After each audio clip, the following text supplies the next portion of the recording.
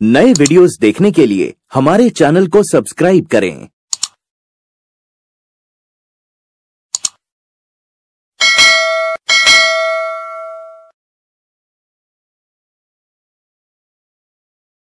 કેમ છો વિદ્યાર્થી મિત્રો મજામાં આજે આપણે આસપાસમાં પાઠ ઓગણીસ બીજ કહે છે ખેડૂતની વાર્તા એમાં સ્વાપુતિ પૂરીશું તો વિદ્યાર્થી મિત્રો, અહીંયા સૌથી પહેલાં આપણને વિકલ્પો આપેલા છે. પહેલાંના સમયમાં ખેતીમાં કયા પ્રાણીનો ઉપયોગ કરવામાં આવતો હતો? તો બી, બળદ. જમીન ખેડવા માટે કયું સાધન વપરાય છે? હળ. પાકની લણણી માટે વપરાતું સાધન કયું છે? તો દાતરડું. શિયાળામાં કેટલાક તાજા શાકભાજીમાં મસાલા ભરી માટલામાં ખાસ પદ્ધતિથી તૈયાર કરવામાં આવતા મિશ્ર પાકને શું કહેવાય? તો દેશી ઊંધિયું અથવા ઉંબાડિયું પણ કહેવાય છે. સુતરાઉ કાપડ બનાવવા માટે કે સુતરાઉ કાપડ બનાવવા માટે કયા પાકને ઉગાડવામાં આવે છે? તો કપાસ. કયા તહેવારના દિવસે ઊંધિયું અને જલેબી ખાવાનો રિવાજ છે? તો ઉત્તરાયણ. કયા ખાતાનો ઉપયોગ વધારે કરવાથી જમીનનું બંધારણ બગડે છે? તો રાસાયણિક ખાતર. આપણે અહીંયા મકર સંક્રાંતિ પણ કહી શકીએ. ચલો, ત્રણમાં. ત્યાર પછી ખાલી જગ્યા. ખેતી કરનારને ખાલી જગ્યા કહેવામાં આવે છે તો ખેડૂત. બીજું, દામજીભાઈ ખેતી માટેના સારા બીજ સુકાયેલી ખાલી જગ્યા પર માટીનો લેપ કરીને તેની અંદર સાચવી રાખતા તો દૂધીની ઉપર સુકાયેલી દૂધી.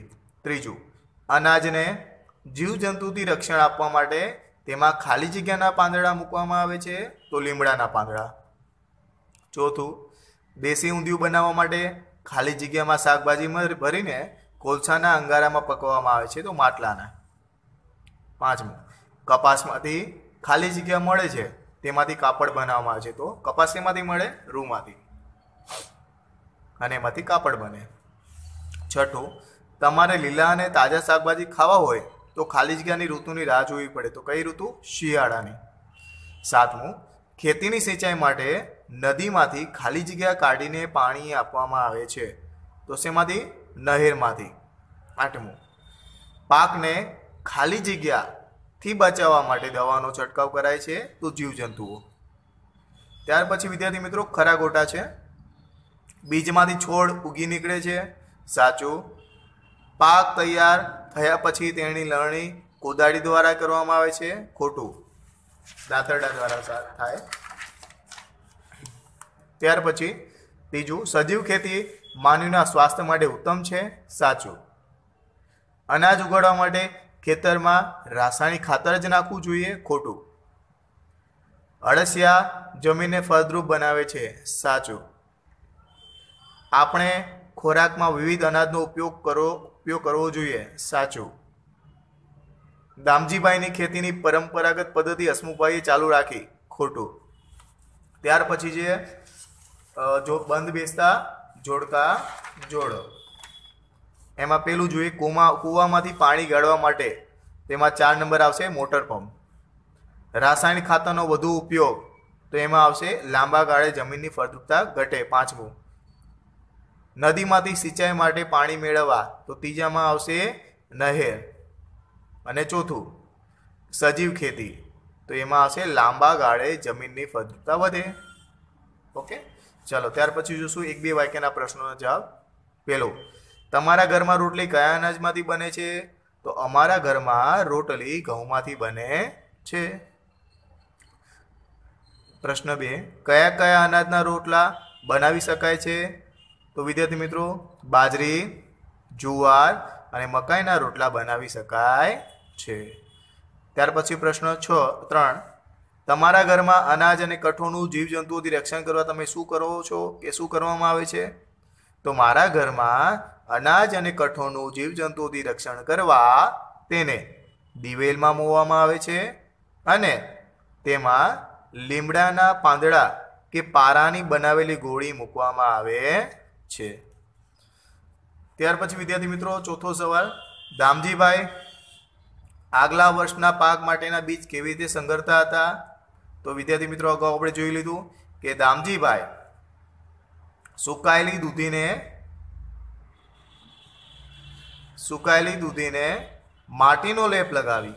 તેની અંદર આગલા વર્ષના પાક માટેના બીજ સંઘરતા હતા. ઓકે? ત્યાર પછી પાંચમો સવાલ. દેશી ઊંધિયું કે ઉંબાડિયા સાથે, એટલે કે દેશી ઊંધિયુંનો મતલબ જ ઉંબાડિયું થાય. શું ખાવાની મજા આવે? તો દેશી ઊંધિયા, બાજરીના, દેશી ઊંધિયા સાથે બાજરીના રોટલા, માખણ, ઘી સાથે ખાવાની મજા આવે છે. છઠ્ઠો સવાલ, ટ્રેક્ટરની મદદથી જમીન ખેડવાથી શો લાભ થાય? તો વિદ્યાર્થી મિત્રો, બળદને જમીન ખેડતા ઘણા દિવસ લાગતા. તે કામ ટ્રેક્ટર એક જ દિવસમાં કરી શકે છે. ત્યાર પછીનો સવાલ સાતમો, ખેતીને સંબંધિત ઉજવાતા કોઈ પણ બે તહેવાર? ના, નામ લખો. તો આપણે અહીંયા લખ્યા છે, ખેતીને સંબંધિત ઉજવાતા તહેવારના નામ દિવાળી, અષાઢી બીજ, પોંગલ, જે કેરળનો તહેવાર છે, ઉત્તરાયણ અને લોહરી, જે પંજાબમાં ઉજવાય. આપણે અહીંયા બેથી બધા લીધા છે નામ, પણ તમે યાદ રાખી શકો છો વધારે, ઓકે? ચલો, પ્રશ્ન છ. એનો પહેલો સવાલ દેશી ઊંધિયું એટલે કે ઉંબાડિયું, કોને કહેવામાં આવે છે? તો વિદ્યાર્થી મિત્રો, શિયાળાના તાજા શાકભાજીમાં મસાલા ભરી તેને એક માટ- માટલામાં ભરવામાં આવે છે. ત્યાર પછી માટલાને ચુસ્ત રીતે બંધ કરવામાં આવે છે. તે પછી કોલસાના અંગારમાં કે અંગારામાં માટલાને ઊંધું મૂકીને અંદરના શાકને પકવામાં આવે છે. આ રીતે તૈયાર થયેલા શાકને દેશી ઊંધિયું કહેવામાં આવે છે. પ્રશ્ન બે, ઊંધિયામાં કયા કયા શાકભાજીનો ઉપયોગ થાય છે? તો ઊંધિયામાં બટાટા, રીંગણ, ટામેટા, ગાજર, રવૈયા ઘેલું મરચાં, એટલે કે જે કેપ્સિકોન મરચાં કહીએ ને એ, લીલા ધાણા એટલે કે કોથમીર, આદુ, શક્કરિયા, રતાળુ અને સુરતી પાપડી વગેરે શાકભાજીનો ઉપયોગ થાય છે. ત્યાર પછી પ્રશ્ન ત્રણ, હસમુખે ખેતી દ્વારા સીઝ સુવિધા મેળવી છે? તો હસમુખે ખેતી દ્વારા ખૂબ જ પૈસા કમાયો છે. તેણે જૂનું ઘર ખરી, જૂનું ઘર ફરી નવું બનાવડાવ્યું છે.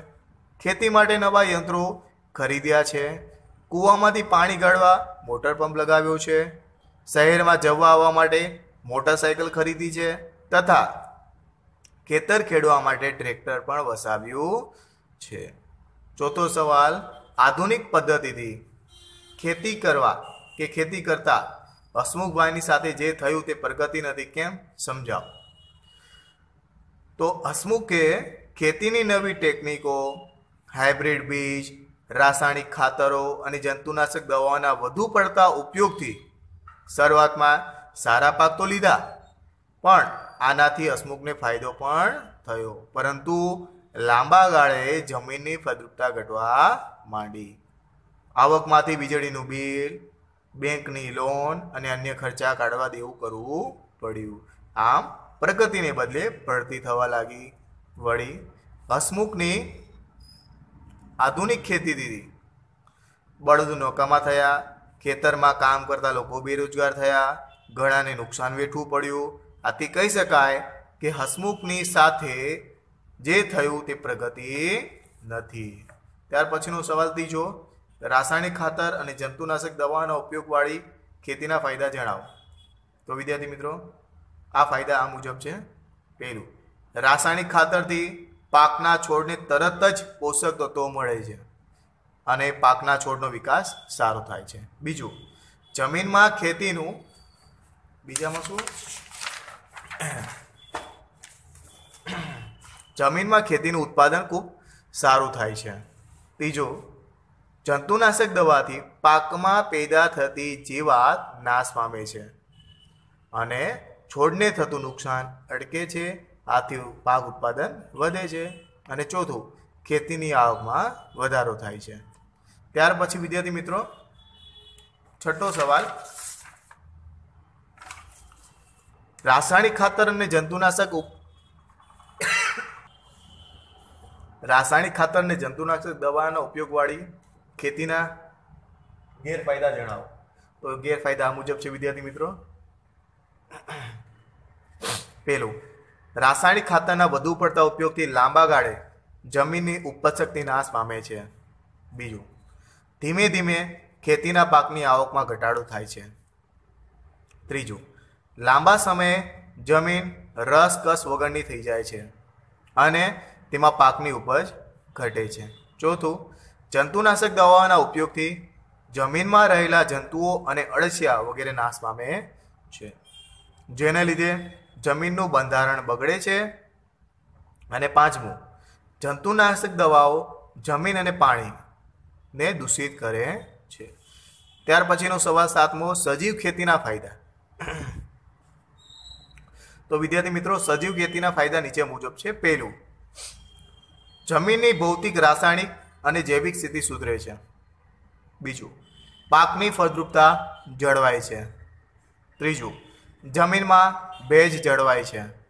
ચોથું, જમીનમાં ખેડ ઊંડી જાય છે. ઊંડી થાય છે. પાંચમું, ખેડ ઊંડી થવાથી વહી જતું પાણી અટકાવી શકાય છે. છઠ્ઠું, જમીનમાં રહેલા ખેતીના ઉપયોગી જે જંતુઓને ખોરાક મળે છે. તેનાથી જમીનમાં તેની વસ્તી વધે છે અને જમીન પોચી થાય છે. સાતમું, પાકને અનુકૂળ વાતાવરણ પૂરું પડાય છે. આઠમું, ખેતરનો કચરો, અવશેષ વગેરે સેન્દ્રિય ખાતર તરીકે ઉપયોગમાં લઈ શકાય છે. તેનાથી તેનાથી જમીન તેનું સત્વ જાળવી રાખે છે. નવમું, ક્ષારીય જમીનનું, શું આવશે વિદ્યાર્થી મિત્રો? ક્ષારીય જમીનનું બંધારણ જળવાય છે. ને દસમું, સાત્વિક અને સ્વાદિષ્ટ શાકભાજી અને ફળો મેળવી શકાય છે. અને છેલ્લું અગિયારમું, પાકનું સારું સારું ઉત્પાદન થવાથી બજાર ભાવ સારો મળે છે. ઓકે? ત્યાર પછીનો વિદ્યાર્થી મિત્રો સવાલ છે, આઠમો. જો બધા ખેડૂતો એક જ પ્રકારના બીજ વાવે અને એક જ પ્રકારની ખેતી કરે તો શું થાય? તો વિદ્યાર્થી મિત્રો ઘણી બધી મુશ્કેલી ઊભી થઈ જાય. જેવી કે એક, બધા લોકોને જુદી જુદી વસ્તુઓ ખાવા ન મળે. સાચી જ વાત છે ને? બીજું, આપણને બધાને એક જ પ્રકારના અનાજની બનેલી વસ્તુ ખાવા મળે, એ પણ બરાબર. જેથી તેના તરફ અરુચિ પેદા થાય. ત્રીજો સવાલ, ત્રીજું છે. ખેડૂતોને પણ તેના ખેતીના પાકની સારી આવક ન મળે. ચોથું, કેમ કે ઉત્પાદન વધુ હોય, ત્યારે ભાવ નીચા જાય. કેમ કે બધા ઉત્પાદન કરવા મળશે, એટલે ભાવ ઉત્પાદન વધી ગયું, ઓકે? અને ભાવ ઘટશે. પાંચમું. લોકોને ભોજન એ જિંદગીની આવશ્યકતા છે. તેથી આવી પરિસ્થિતિ થાય તો લોકોને ભોજન પ્રત્યે રુચિ ઓછી થઈ જાય. કે વિદ્યાર્થી મિત્રો, ખ્યાલ આવી ગયો? ત્યાર પછી છે, માંગ્યા મુજબ ઉત્તર આપો. હવે અહીંયા એમ છે કે છોડમાં જે જગ્યા પર પાક તૈયાર થાય છે તેને શું કહેવાય? જેમ કે છોડનું નામ, ઘઉંનો છોડ, તો એને શું કહેવાય? ઉંબી જે ઘઉંના છોડ હોય ને, એને શું કહેવાય? ઉંબી બાજરીના છોડને ડુંડા. જુવારના છોડને કણસલું અને કપાસના છોડને કાલા. ફરીથી ઘઉંના છોડ માટે ઉંબી બાજરીના છોડ માટે ડુંડા, જુવારના છોડને કણસલું કણસલું અને કપાસના છોડને કાલા કહેવાય ઓકે ત્યાર પછી ઘઉં અને બાજરીમાંથી કઈ કઈ વાનગીઓ બનાવી શકાય? એટલે ઘઉં અને બાજરી, અહીંયા તમારે આ રીતે લખવાનું છે. તો જેમ કે રોટલી, લાપસી, પૂરી અને ભાખરી. ત્યાર પછી બાજરીમાંથી તો રોટલા, કુલેરના લાડુ, ઢેબરા અને વડા. ઓકે? ત્યાર પછી તમારા વિસ્તારમાં ઉગાડવામાં આવતા અનાજ, કઠોળ, શાકભાજીની યાદી તૈયાર કરો. એટલે કે આપણા વિસ્તારમાં જે અનાજ કઠોળ, શાકભાજી કે અન્ય કોઈ વસ્તુ ઉગાડવામાં આવતી હોય તો એને આપણે એના નીચે લખવાની. તમને કોઈ બીજા નામ હોય તો તમે લખી શકો છો. અનાજમાં જોશું આપણે. સૌથી પહેલાં તો ઘઉં, બાજરી, જુવાર અને મકાઈ. કઠોળમાં જોઈએ તો મગ, તુવેર, ચણા, ચોળા અને વટાણ. શાકભાજીમાં જોઈએ તો બટાકા, રીંગણ, દૂધી, કોબીજ અને ભીંડા. અન્ય વસ્તુઓમાં જોઈએ તો આપણી આજુબાજુ કોઈ ઉત્પાદન થતું હોય, આપણા ખોરાકમાં ઉપયોગમાં લેવાતા હોય, તો એ છે કેસર કેરી, સ્ટ્રોબેરી અને હાફૂસ કેરી. ઓકે?